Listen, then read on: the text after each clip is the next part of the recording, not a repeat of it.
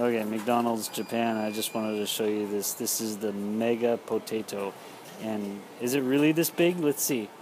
ももう一度もも見せていいはい。これですか二つのラージサイズですかお二つになります。あお二つ分になります。すごい。ありがとうございます。あちらストロー欲しい。はい、お願いします。And they always put the straw in your milkshake for you. お待たせしました。ありがとうございます。 but they ask you first if you want it in there. So yeah, that was a, a neat thing from McDonald's in Japan. It's kind of strange to see them have something so not healthy for you. Maybe I don't know because it's potatoes. They making it like it is healthy. No, that would be an American thing. it's like saying ketchup is a vegetable.